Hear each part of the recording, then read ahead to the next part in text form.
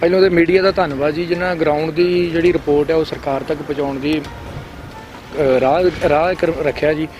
ਬਾਕੀ ਅਸੀਂ ਤੇ ਇੱਥੇ ਨਾਕਾ ਲਾਇਆ ਪਿੰਡ ਕਿਲਾ ਕਵੀ ਸੰਤੋਖ ਸਿੰਘ ਨੂਰ ਦੀ ਹੈ ਜੀ। ਅਸੀਂ ਤੇ ਨਾਕਾ ਲਾਇਆ ਪ੍ਰਸ਼ਾਸਨ ਦੇ ਸਹਿਯੋਗ ਤੇ ਪਿੰਡ ਦੀ ਪੰਚਾਇਤ ਦੇ ਸਹਿਯੋਗ ਨਾਲ। ਕਿ ਸਾਡੇ ਸਰਪੰਚ ਸਾਹਿਬ ਸਰਦਾਰ ਕੁਲਵੀਰ ਸਿੰਘ ਜੀ ਹੈ ਜੀ ਨੂਰਦੀ ਤੋਂ। ਉਹਨਾਂ ਦੇ ਸਹਿਯੋਗ ਨਾਲ ਪੁਲਿਸ ਪਾ- ਪੁਲਿਸ ਪ੍ਰਸ਼ਾਸਨ ਦੇ ਸਹਿਯੋਗ ਨਾਲ ਲੱਗਾ ਜੀ। ਤੇ ਸਵੇਰ ਤੋਂ 8 ਵਜੇ ਤੋਂ ਅਸੀਂ ਇੱਥੇ ਨਾਕਾਬੰਦੀ ਕੀਤੀ ਹੈ ਜੀ। ਹਰ ਇੱਕ ਰਾਹਗਰੀ ਨੂੰ ਪੁੱਛੀਦਾ ਵਾ ਜੀ, ਪਾਸ ਵਾਲੇ ਨੂੰ ਪਾਸ ਵੇਖ ਕੇ ਜਾਣ ਦਈਦਾ ਜੀ।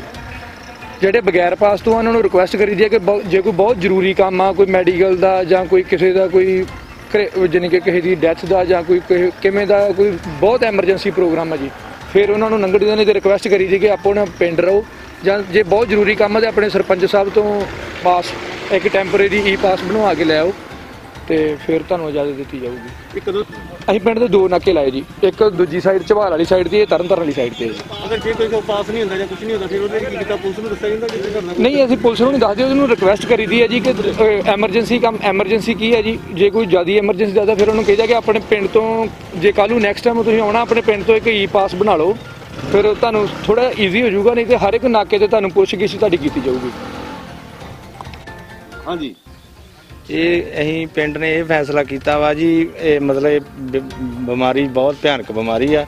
ਇਸ ਨੂੰ ਰੋਕਣ ਲਈ ਸਾਨੂੰ ਪੂਰਾ ਨੂੰ ਯਤਨ ਕਰਨਾ ਪੈਣ ਡਿਆ ਵਾ ਤੇ ਨਾਲ ਸਾਡੇ ਅਹ, ਚੌਂਕੀ ਇੰਚਾਰਜ ਸਾਹਿਬ ਵੀ ਬਹੁਤ ਸਾਡਾ ਸਾਥ ਦੇਣ ਡਿਆ। ਇਸ ਕਰਕੇ ਅਸੀਂ ਪਿੰਡ 'ਚ ਆਪਣੇ ਲੋਕਡਾਊਨ ਕੀਤਾ ਵਾ ਤੇ ਇਹਨੂੰ ਅਸੀਂ ਮਤਲਬ ਕੋਈ ਪਿੰਡ ਦਾ ਬਾਹਰੀ ਬੰਦਾ ਅਸੀਂ ਅੰਦਰ ਨਹੀਂ ਆਉਣ ਦੇਣ ਡਿਆ ਤੇ ਆਪਣੇ ਪਿੰਡ ਦੇ ਬੰਦੇ ਵਿਅਕਤੀ ਨੂੰ ਵੀ ਜਿਹਨੂੰ ਕਿ ਲੋੜਵੰਦ ਜਿਆਦੀ ਲੋੜਵੰਦ ਮੈਡੀਕਲ ਦੀ ਲੋੜਵੰਦ ਉਹਨੂੰ ਅਸੀਂ ਬਾਹਰ ਜਾਣ ਦੇਣ ਡਏ ਆ।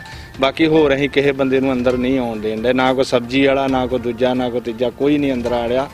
ਅਸੀਂ ਆਪਣੇ ਪਿੰਡ ਦੀ ਬਿਲਕੁਲ ਆਪਣੀ ਪੰਚਾਇਤ ਨਾਲ ਸਾਡੇ ਇੰਚਾਰਜ ਸਾਹਿਬ ਬਹੁਤ ਰੱਖਿਆ ਕਰਨ ਡਏ ਆ ਵਧੀਆ ਕਰਨ ਡਏ ਆ ਕੰਮ ਵੀ ਮਤਲਬ। ਜੇ ਲੋਕਾਂ ਨੂੰ ਤੁਸੀਂ ਲੋਕਾਂ ਨੂੰ। ਕਿੱਦਾਂ ਸਮਝਾ ਰਹੇ ਕਿ ਘਰਾਂ ਦੇ ਵਿੱਚ ਰਹਿਣ ਘਰਾਂ ਦੇ ਵਿੱਚ ਅਸੀਂ ਲੋਕਾਂ ਨੂੰ ਇਹ ਕਰ ਰਿਹਾ ਵੀ ਆਪਣੇ ਘਰਾਂ 'ਚ ਰਹਿ ਕੇ ਬਚਾਅ ਕਰੋ ਆਪਣਾ ਜਿੰਨਾ ਵੀ ਹੋ ਸਕਦਾ।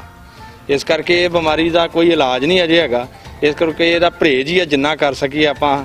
ਜਿੰਨਾ ਆਪਾਂ ਆਪਣੇ ਮਤਲਬ ਸਫ਼ਾਈ ਰੱਖ ਸਕੀਏ, ਇਸ ਕਰਕੇ ਲੋਕਾਂ ਨੂੰ ਇਹ ਅਸੀਂ ਘਰ ਘਰ ਜਾ ਕੇ ਸਮਝਾਉਣ ਡਏ ਆ ਵੀ ਇਹ ਇਹ ਬਿਮਾਰੀ ਦਾ ਕੋਈ ਇਹਨਾਂ ਇਲਾਜ ਨਹੀਂ ਹੈਗਾ, ਜਿਹੜਾ ਮਤਲਬ ਪਰਹੇਜ਼ ਹੀ ਪਰਹੇਜ਼ ਆ ਜਿਹਦਾ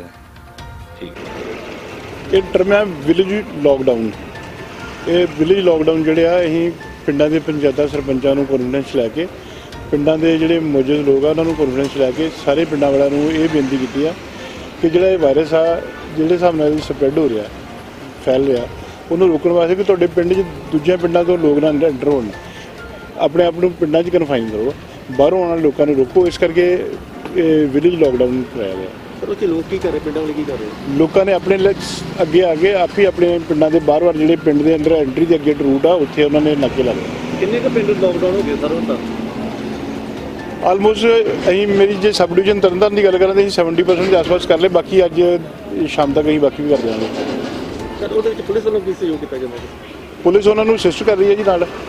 ਸਾਡੇ ਸਾਰੇ ਦੇ ਨੰਬਰ ਜਿਹੜੇ ਮੇਰਾ ਮੇਰੇ ਐਸਐਚਓਜ਼ ਦਾ ਸਾਰਿਆਂ ਦਾ ਐਸਐਚਓਜ਼ ਦਾ ਜਿਹੜੇ ਵਿਲੇਜ ਪੁਲਿਸ ਅਫਸਰ ਉਹਨਾਂ ਦਾ ਨੰਬਰ ਉਹਨਾਂ ਨੂੰ ਫਲੈਸ਼ ਕੀਤੇ ਆ। ਜੋ ਕੋਈ ਉਹਨਾਂ ਨੂੰ ਕੋਈ ਦਿੱਕਤ ਹੁੰਦੀ ਹੈ ਕਿਸੇ ਵੱਲੋਂ ਕਿ ਕਿਸੇ ਦੀ ਕੋਈ ਐਮਰਜੈਂਸੀ ਆ ਤਾਂ ਉਹ ਸਾਡੇ ਨਾਲ ਕੰਟੈਕਟ ਕਰਦੇ ਅਸੀਂ ਉਹਦੀ ਅੱਗੇ ਮੁਸ਼ਕਲ ਦਾ ਹੱਲ ਕਰ ਦਿੰਦੇ ਹਾਂ ਜੇ ਉਹਨਾਂ ਦੇ ਰੋਕਣ ਦੇ ਵੀ ਲੋਕ ਨਹੀਂ ਰੁਕਦੇ ਤੇ ਫਿਰ ਉਸ ਤੋਂ ਬਾਅਦ ਪੁਲਿਸ ਦੀ ਕਾਰਵਾਈ ਕੀਤੀ ਜਾਂਦੀ ਫਿਰ ਹਾਂਜੀ ਬਿਲਕੁਲ ਜੀ ਫਿਰ ਜਿਹੜਾ ਕਰਫਿਊ ਦੀ ਵਾਇਲੇਸ਼ਨ ਦਾ ਪਰਚਾ ਦਰਜ ਹੋਊਗਾ।